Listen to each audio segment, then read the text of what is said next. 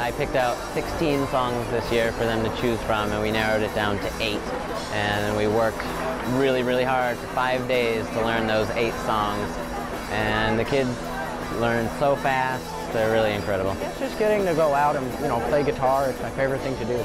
Miss Liberty is amazing. She really expanded my view on music, and if it wasn't for her, I wouldn't be where I am today. It was a really good experience. I'm definitely doing it next year.